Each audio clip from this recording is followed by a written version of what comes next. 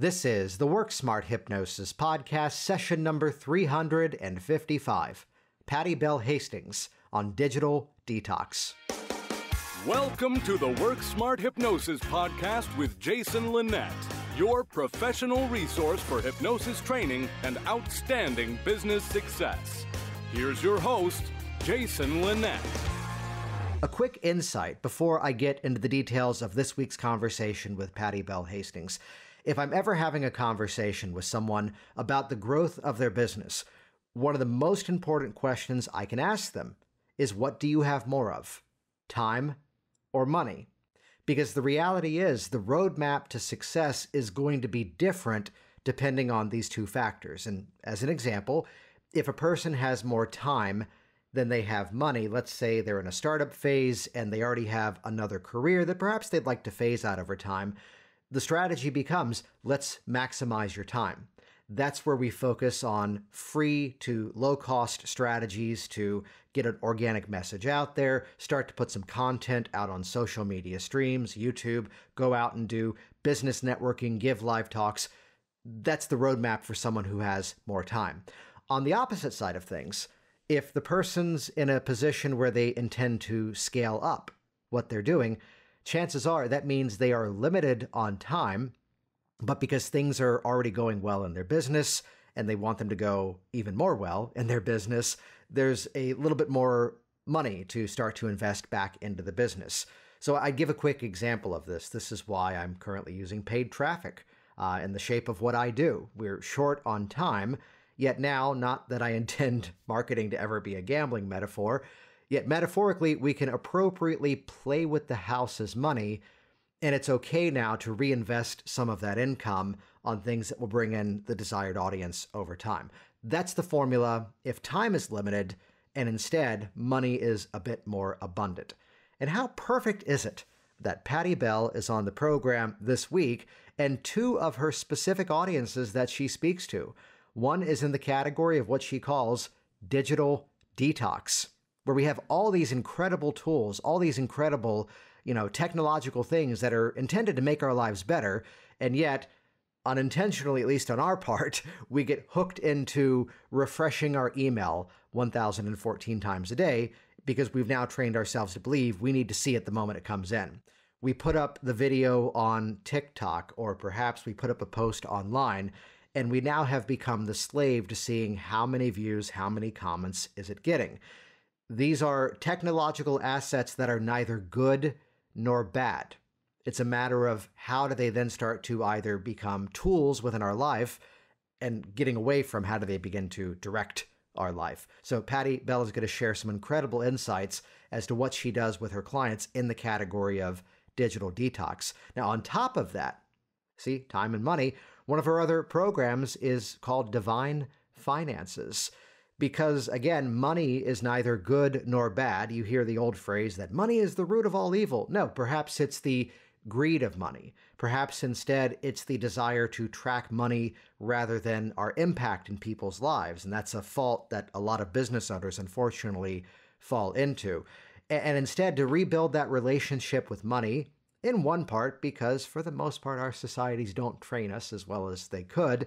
Yet, how it's not always about the strategies and tactics.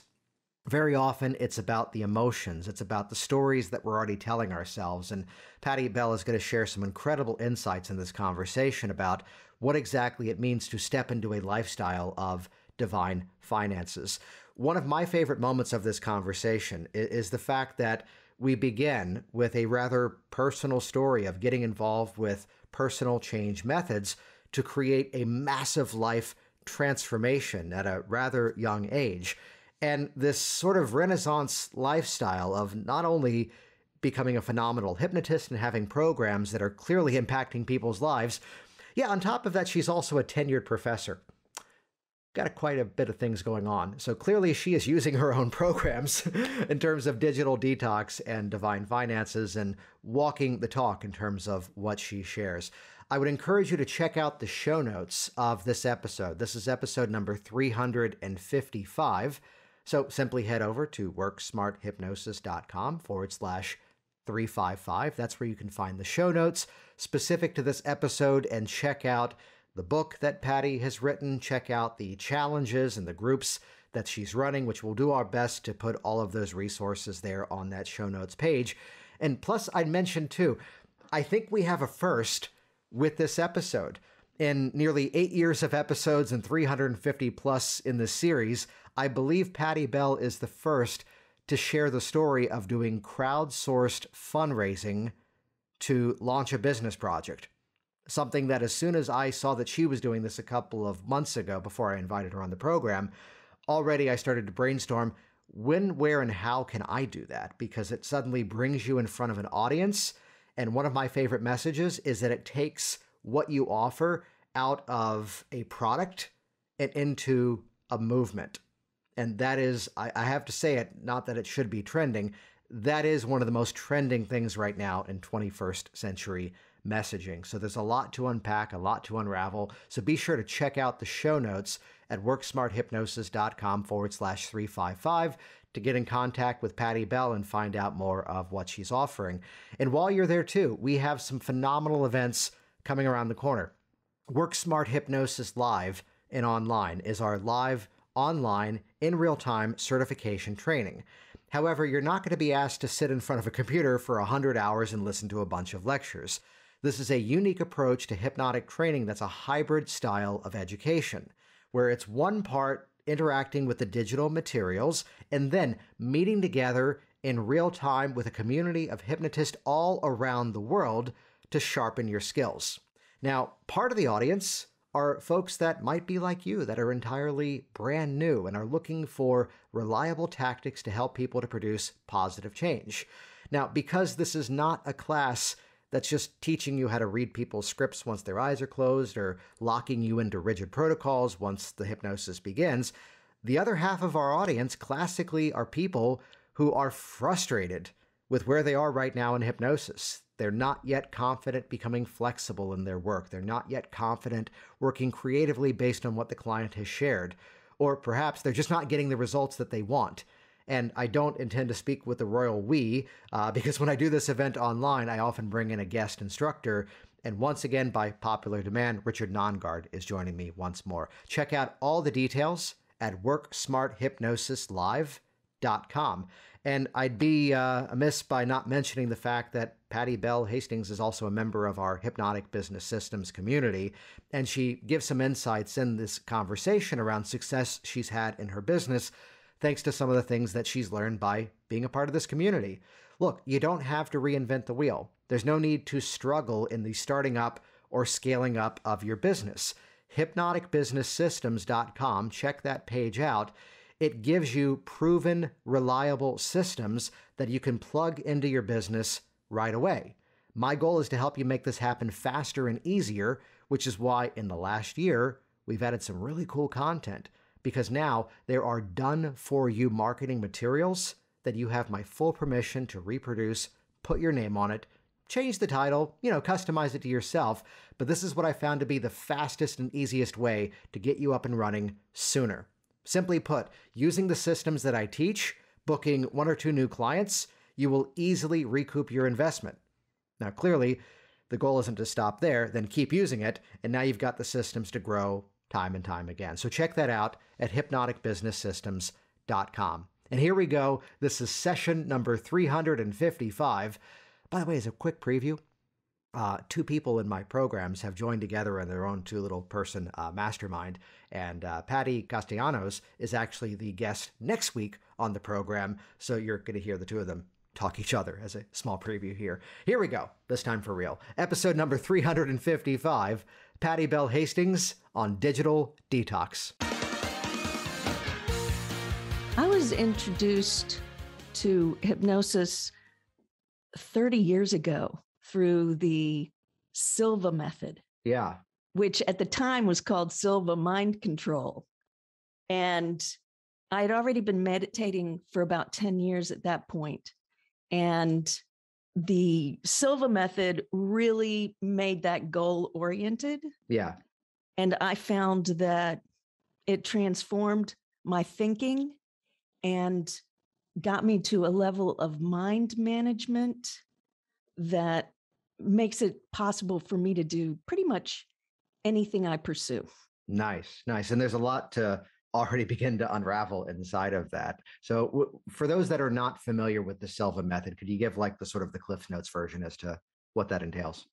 So, the Silva method is actually a series of hypnosis audios. I'm going to call it hypnosis because I really believe that's what it is that walks you through from the original just countdown relaxation, getting to that deeper level of trance or hypnotic state, whatever people want to call that. I'm not really attached to, to names and labels.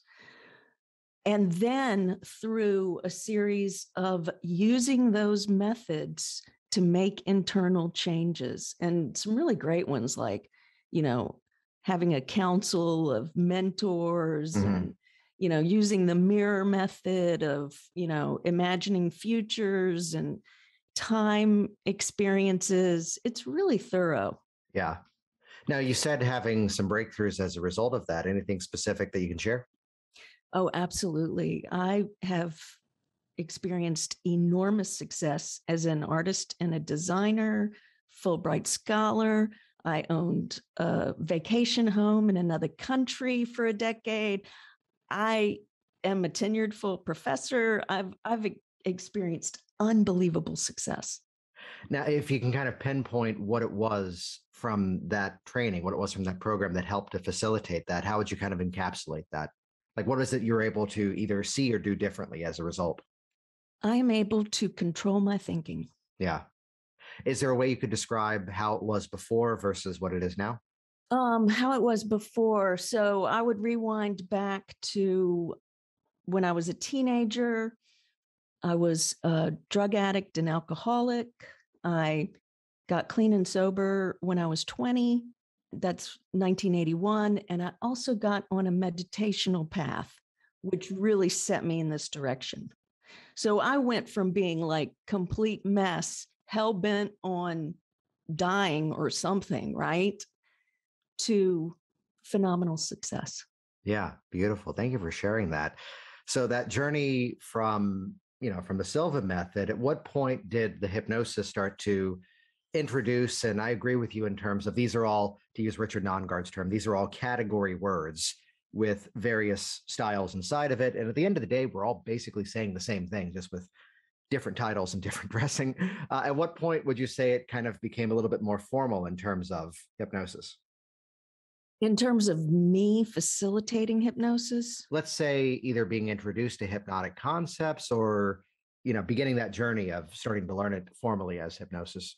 Well, I think, you know, once I experienced the Silva method, then I found out about NLP and self hypnosis and sought out, you know, different recordings. You know, this goes back to when things were on cassette tapes. Yeah. you know, sought out recordings and experiences. This is pre internet. So, whatever experiences I could. So, to me, it's, it was an amalgam yeah. of hypnosis, meditation, NLP. So, I would say that I started to formally pursue hypnosis and various forms of hypnotic therapies for myself after experiencing enormous trauma, saving my daughter's life during seizures. Yeah. So then you mentioned tenured professor. Tell us part of that story. So I never I never meant to be one of those, by the way. Yeah. I did not set out to do that, but during the first Persian Gulf War, I ended up taking on a class, a computer design class that the local school, art school, could not find anyone to teach. And I fell in love with it. It was gratifying in a way that making stuff is not. You know, working with other people and seeing the light go on and helping them reach their creative fulfillment. Yeah. And career, that was awesome. So then along that journey, then where did that become formal in terms of now teaching? That became, uh, well, I kept teaching. I kept taking classes, you know, agreeing to teach classes. And then I started um, pursuing full time teaching in my late 30s, I believe it was. Yeah, my late 30s, mid to late 30s. And I just got such deep gratification. I, I think of myself as a facilitator, Jason. I facilitate transformation. And in terms of the being the professor, I facilitate 18 year old students to the transition of becoming 22 year old professional UX UI designers. Yeah. So, and then, so in my hypnosis practice, I'm still a facilitator. I'm primarily facilitating through hypnotic methods so that the people that come to me can access deeper levels of mind to reach their intrinsic motivation and foster internal realizations and changes. I love that. I love that description. And what's great about that, you know, we often get into the story here as to what got you started, what that connection is. And what's fascinating is when we hear that story that here's what I did before, and here's how I'm continuing that. And here's the through line from one to the other that I'm hearing part of your sort of internal dialogue is that it's the same process, it's the same outcome, it's the same journey, just different, let's say, roadmaps to get there. Yeah. Different methods, practices, and modalities. Yeah. So, how would you say that's informed the hypnosis work that you now do? Um, that line is really much clearer for me because I became, I was voted into a position of leadership and in academia. I know that laugh. Let's just say department chair is like the you know worst position of leadership you mm.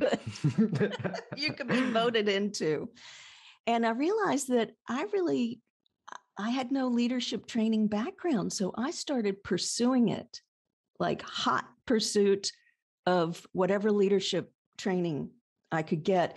And I was really lucky to fall into somatic and embodied practices and worked with some great groups out of Boston and other places to learn how to take that embodiment, the somatic practices into a place of leadership so I could support my people in compassionate and helpful ways.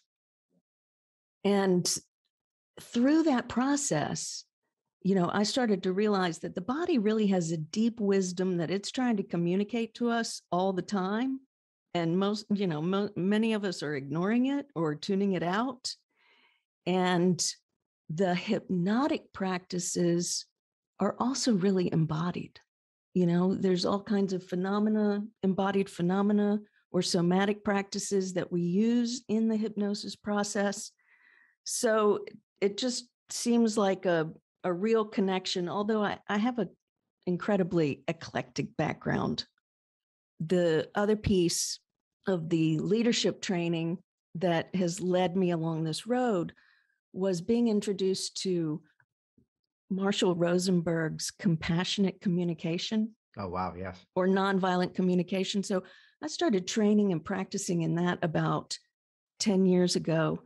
And while I was using it for my relationships and my leadership, when I started incorporating it into my hypnosis practice, I was able to facilitate some massive changes and breakthroughs because I really believe that certain methods of hypnosis are really getting at the underlying needs beneath the feelings.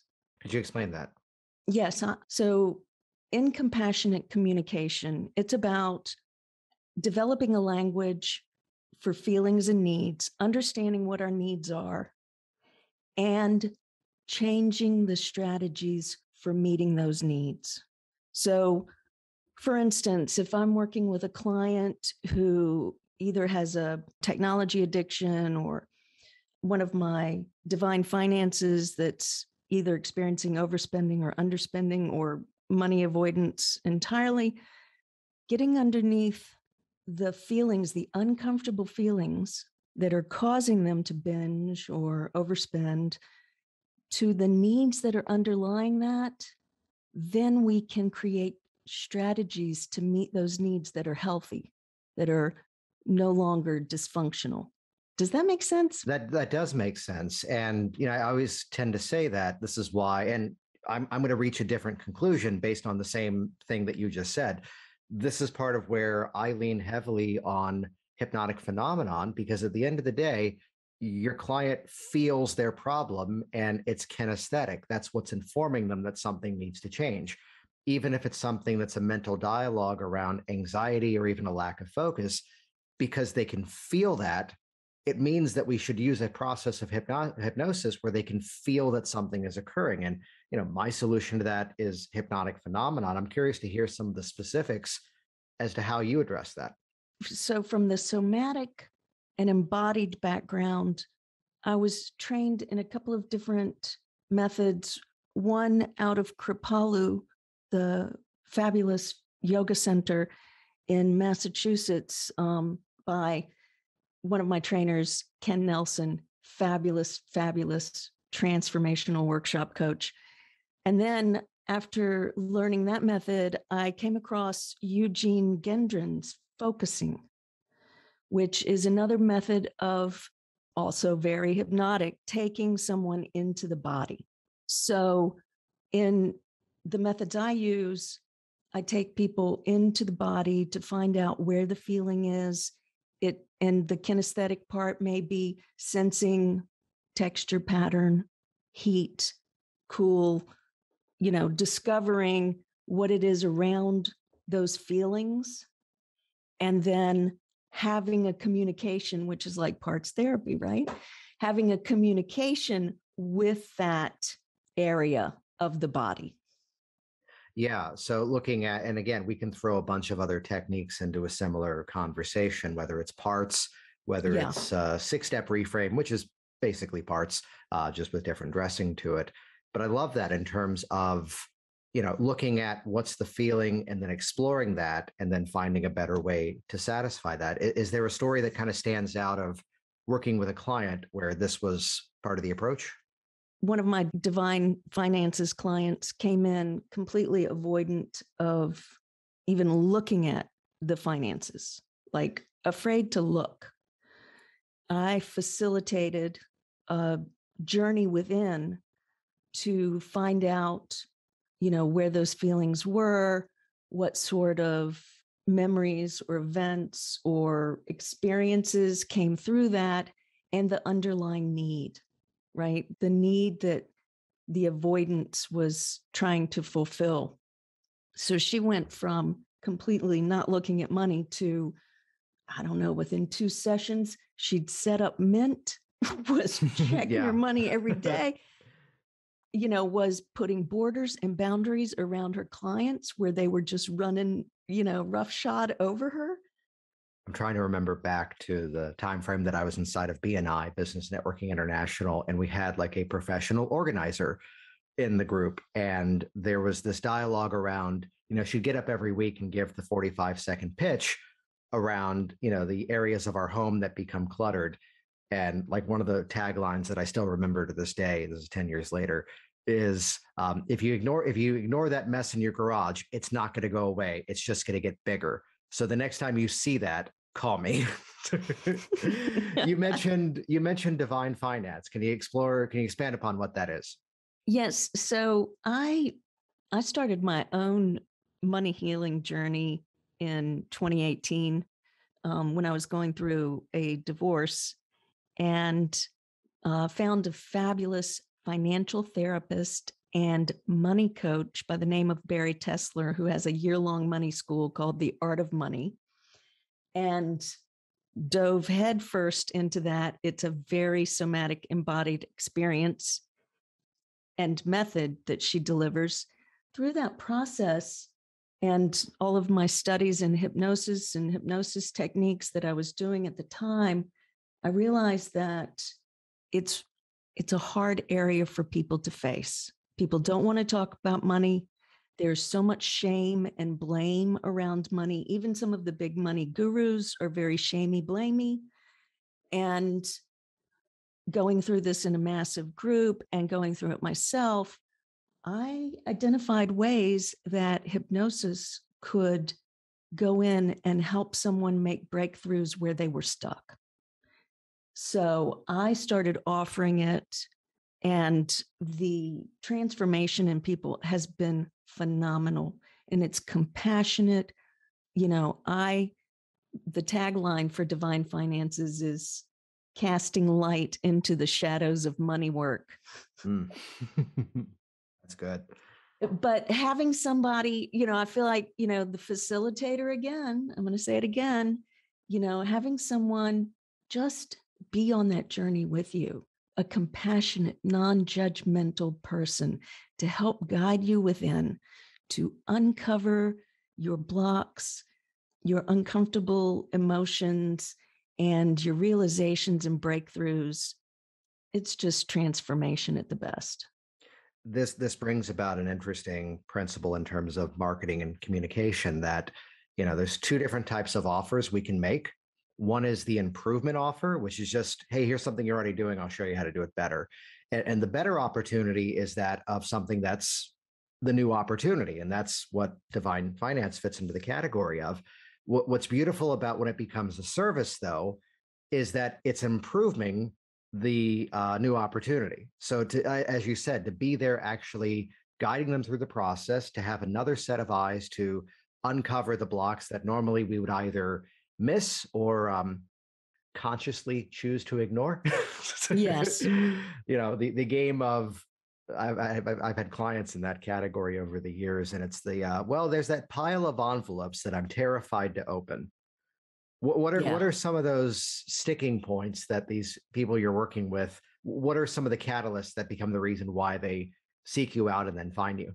My creative field, there's lots of money issues. We've got cultural, you know, baggage around artists don't make money or creative people don't make money or you know so i i have a lot of creative people come to me they see my success so they believe that there's something that i might be able to help with them with in the same way mm-hmm.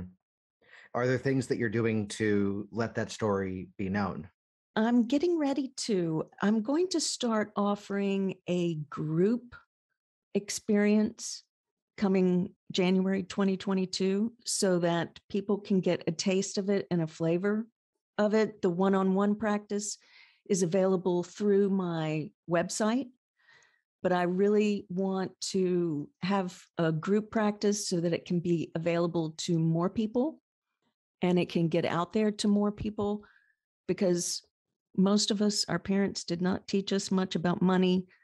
Here in the US, the culture around money is really messed up. Yes. you know, so we pick up all of this baggage that we don't even know we're carrying, you know, and all it takes is someone else, you know, to like help point out some of the beliefs or premises that we can just let go of and move on from. Yeah, which it's one of those categories that has you know such huge benefits beyond it that suddenly now the person is sleeping better because they have a sense of peace of mind that now they know things are taken care of. Even for that person who may not necessarily have let's say the savings or the retirement right now that they would like to have to have at least the plan in place and know that they're on track know that they're on course to make that happen and we hear so many stories even in this country as to here comes the unexplained unex- eh, unplanned medical event and how it turns into sadly a moment of you know bankruptcy. Exactly. What are some of the breakthroughs that people are having? Like you mentioned some of the blocks that they would have. What are so i have clients who never dreamed that they could have investment accounts that have investment accounts. Yeah. I have others that have emergency funds for the first time you know, everybody has different issues. Like I have some that are now investing in cryptocurrencies. So it's, I say it's as individual as a fingerprint. Yes. And I have, through my training from you and my primary hypnosis trainer, Mark Beal, I have very detailed intake processes so that I can really get a full view of the individual that is coming into the practice. That that's really insightful in terms of looking at how we can gather the information. There's a very quick story that I'm clearly going to leave a ton of details out of for obvious reasons. um, but it's friends who own a Mercedes bus, and the bus wouldn't start. And here's the moment that I had my Kia Forte, I think is the name of the car, rental car, which rents in Las Vegas, I think for $8 a day, which respectfully is basically Tupperware on wheels. And there we were using jumper cables to start the bus from the, you know, little tiny, basically plastic car. And I'm taking a photo of this as I'm being told, you can never share this photo. And I, I'm in that moment thinking this problem is just as real to them as it is the person who can't afford the new car, but the car is too old, but still needs a transmission. And it's that financial crisis as to I don't have the six or seven grand to get you know just a basic used car but i kind of do have the 1500 to repair the transmission but this is going to create that financial loop that what you said is is great there that for some people on different levels it might just be having that extra couple of thousand dollars in the case of an emergency and for that person who does have the extra money to throw around into a slightly risky investment that's just as genuine to that person as it is the person dealing with that that car trouble Absolutely. Absolutely. And I think we are here in the US. I want to, because I know you have an international audience, we grow up in a culture that trains us in scarcity. So we have millionaires who feel like nothing is ever enough. So helping or facilitating someone to a point where they feel enough they feel like they are enough, that they have enough, they can be enough. That's hugely powerful. That's that's amazing. You mentioned another service that you provide, and I love the name of this and I love the concept of it. Tell us about digital detox. digital detox. Well, this really, really ties into my professorial gig. No, wait, let me let me give the right transition. So now that they're staring at their cryptocurrency, which trades every single day of the week, rather than just basically um, you know nine thirty in the morning to four o'clock like the standard stock exchange, how are you then getting them off the computer? hey, don't laugh because that is a real that, issue. That I I I've made fun of that one publicly as someone who, to quote Richard Cole, I heard him years ago. He was on this podcast several times, and he talked about a turning point in his business that he goes, I used to ignore the numbers and then, quote his words, I discovered that I could become horny for the numbers. I could then track what was working, what wasn't working, and then move forward. And I can call it out if I'm given streaming numbers that change every second dear God, I need to turn that off. So when here came the opportunity when I'm like, oh, wait, mutual funds automatically every month, this month, this amount of money goes in and it doesn't change other than once a day. That's what I need. Automation. Yes, set it and forget it. Set it and forget it. yes. Where did I learn that from? Hmm. Um, the, so the digital detox came out of my I teach UI, UX designers, but I teach them ethically, right? Because there have been too many situations where 20 year olds have designed things like the Facebook like button that have hijacked people's minds, right?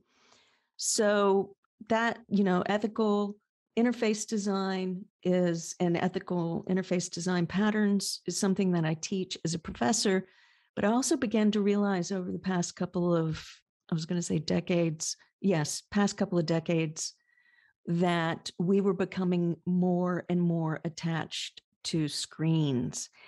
And this digital detox is really a mission I am on for humanity. I am on a mission to redirect our dopamine seeking habits because that's what we're doing whether whether it's checking our email 100 times a day or binging on Netflix or checking our likes, whatever those whatever those activities are, we're dopamine seeking. We are getting pleasure or we are getting rewards, chemical rewards in our body for those activities. And I have developed a protocol to help shift those habits and activities to practices that move us forward rather than having us look at the screen. And that is incorporating hypnosis into the process of addiction recovery. Yeah. Which I love that that framing of it. So then integrating hypnosis into this, mm, share some of the insights as to what's being addressed, what strategies are being introduced. Basically, and this this goes for pretty much everything that I do in terms of my hypnosis offerings. First is I establish positive resource states. Positive resource states. So that's the first step. And tying that to a vision of the future, right? Why are we doing this? Why are we giving this up? What is it that we want to be different? What are we not doing that we wish we were doing? Or what are we not doing that we say we don't have time for because we've accidentally just lost an hour scrolling on Instagram? Yeah. I really believe that great innovations and breakthroughs, books, works of art, fabulous movies, whatever uh, businesses, even great innovations and breakthroughs come through states of focus and flow. And that we can't innovate or create those amazing things that we are capable of creating if our attention and time are chopped up into ever smaller increments. Right. And especially that, you know, mm, when we figure out that the distraction pattern doesn't work, the I'm going to have everything open all at once. And this moment, I go back to my first professional session that I ever did once I moved to Virginia. And while not exactly digital, uh, it fits into the same category. He's a life insurance agent, sits down, and I just politely ask, Hey, do you want to take out that uh, Bluetooth and um, put it over there next to your phone? And the response was, No, I can't take this out. This is the um, you know life of my business. And somewhere came the question, and I now call this epiphany seating uh, to give it a fancy name, which would be I wonder if the fact that you feel so married to the business and you're terrified to take that thing out for just 45 minutes here is part of why we need to be here addressing this other goal of yours. And he sits yes, there, paused bingo. for a moment. Yeah. And he, and he takes it out and he puts it down. and also the, well, the awareness too. And this is a dialogue that I have to get into sometimes with people. And my my secret weapon personally may be that I am a morning person and I do have like a 30 minute chunk in the morning while I'm still waking up that I respond to emails uh, that assistant has put into a folder for me to then review, by the way. And and the secret though is in both Gmail and Microsoft Office, I can schedule those emails out to go out at a reasonable hour. So it doesn't look like I'm responding at 512 in the morning. right.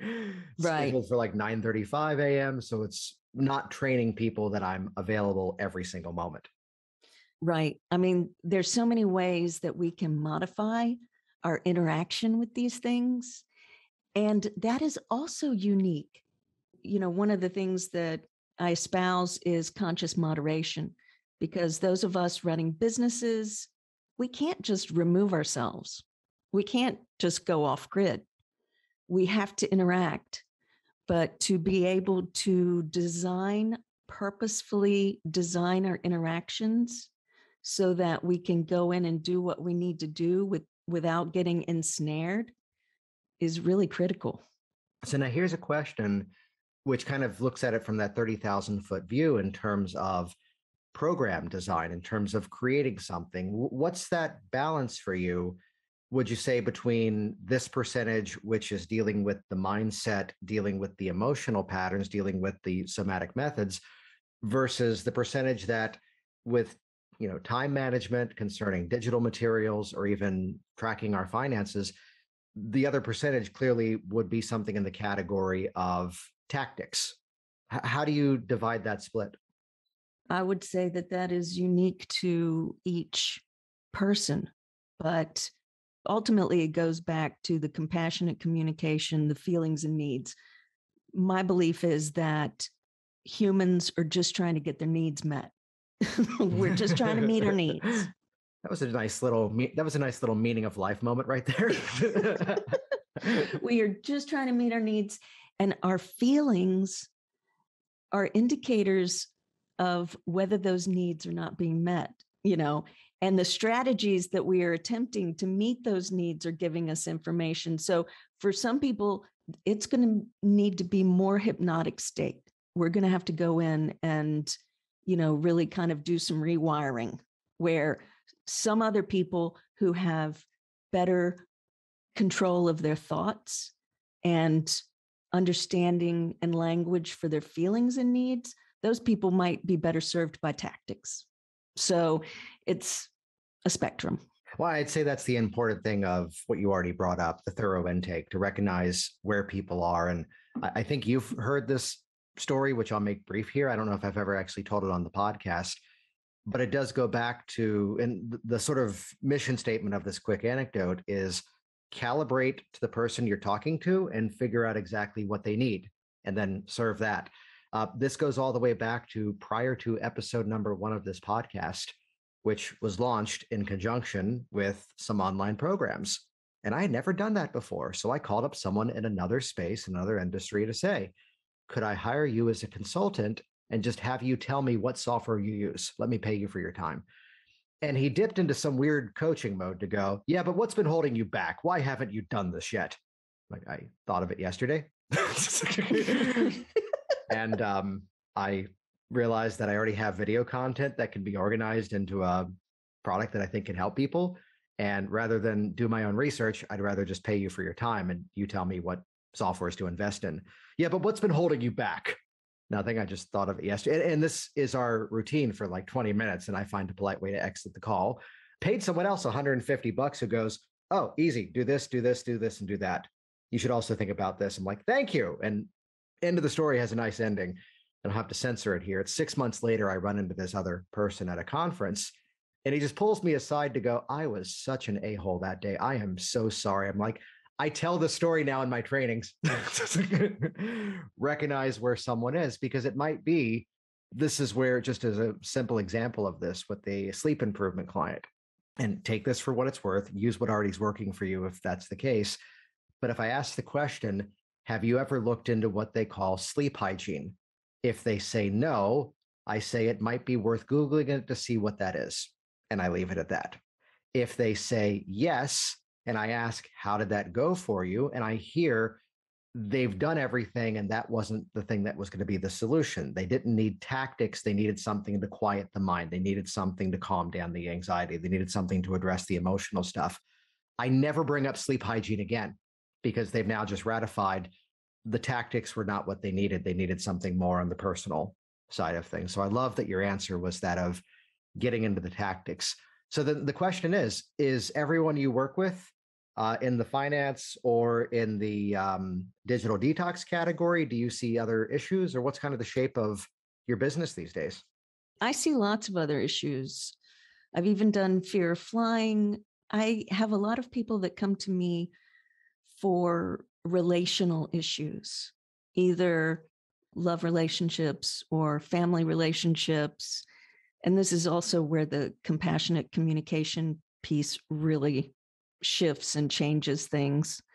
Everything from, you know, a young woman that was going to fly to another country to uh, meet with a father she was estranged from, to people who come to me for past life regression therapy or between lives regression therapy because they have tried everything else to resolve certain issues in this life. They've been to therapy, they've been to this, they've done that, they've, you know, and they want to try this to see if they can finally get the shift that they're looking for. So, really, habit issues.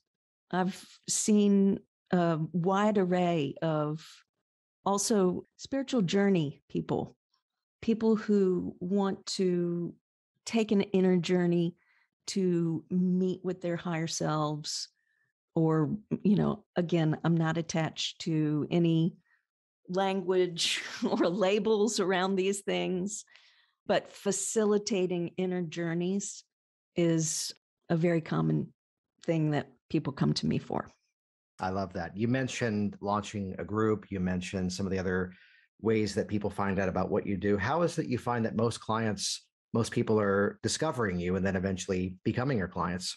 What, what's working in terms of the business these days? Right now it's word of mouth yeah. but through your fabulous guidance i am instituting and doing all kinds of other things now. I just finished a seven day digital detox challenge through a facebook group called the conscious moderation club nice I love and that. that has attracted some new people into my sphere. In addition to that, I'm writing the book through Richard Nongard's fabulous 12 week book class. If anybody needs to hear that or know about that, I'm writing the digital detox book, The Seven Step Process. I'm writing that book, which will be out in January. And I've also got a group course workshop for digital detox that'll launch in January as well, the first week of January, so that people can kick off the new year and reclaim their time and attention. I love that. Yeah, so so I'm using social media. Um, I've actually got a fabulous assistant right now who is helping me with Facebook ads and targeting. And I'm running a couple of ads for the digital detox book. I'm doing some fundraising around that. I'm basically doing everything that I'm learning in your fabulous groups and courses. Oh, thank you. I want to. You mentioned fundraising. I, I I know the details of this, and I want to hear. I think this is the first time ever on the podcast someone has talked about fundraising as a strategy to grow their business. Can can you expand on that? This is the advantage of having an eclectic background and an innovation mindset. When I started writing the seven step digital detox workbook, I was doing the research that Richard had us doing in the course. I was also researching through some other writers, publishers, authors. I've been published in traditional publishing in the past. And I was like, geez, how do you how do you kind of get the word out about this? You know, if you're self-publishing, if you're indie publishing, that kind of thing. And I was like, oh, I'll run an Indiegogo campaign. Mm-hmm. I'll run a fundraiser and you know, if it works, fantastic. If it doesn't, it's going to be an amazing learning process which it has, and it has been getting the word out and it has been getting some notice. And I have been getting support through that campaign, which is also how I came to run the seven day challenge. So, yeah, so it's unusual. I think I'm the first person in Richard's class to ever do this. Yeah. But what it's doing is it's also pre marketing the book. Right. Yeah so it's it's through social media and word of mouth and supporters the information about the process and the book is getting out there in advance of the book being complete. What what's beautiful about all these strategies is that you know we talk about the three steps of um, sales. It's always audience engagement invitation. No matter what we're doing those three steps are always there. And what's great about what you've been sharing here is finding an opportunity and doing something about it to say it quite simply rather than well i put up a website and i'm waiting for someone to find me. It's through events whether it's a challenge or events like the indiegogo campaign or utilizing whatever channels you already have uh, that's great and this gives a really cool model of some truly innovative ways uh, to be found. Where can people track you down? How can they best get in contact with you? Well if they are interested in my hypnosis services, my website is soulshepherd.love. And you can also find me on YouTube under Soul Shepherd Hypnosis. My leadership coaching and facilitation practices are run out of mindfulmarks.com. And you can also find Mindful Marks on YouTube. If you're interested in the digital detox, then if you go to tinyurl.com, reclaim your time, you will find out all about the workbook, the hypnosis audios, and the campaign that I'm running. Excellent. Uh, thank, thank you so much for coming on this program and sharing a lot of ideas that honestly I've been over here taking some notes going, I got to do that. That's a good idea. any any final thoughts for the listeners out there? Um, final thoughts. Um, can I give three? Absolutely. Okay. One, make mistakes. Michael Jordan has some famous quotes about how he is successful not because of the baskets he made, but of the shots he missed. So make mistakes and learn from them and move on. We have a saying in the design world fail fast, fail forward. Mm-hmm. so that's my first one. My second one is eat your own dog food or cat food for the cat people out there. Please tell me this is a metaphor. it is a metaphor. Okay, good, good. it means do the self hypnosis, get your own hypnotist, get your own coach, right? Have the same support that you offer other people. And then my last one is whatever you're doing, whatever you're pursuing, get an accountability buddy or five.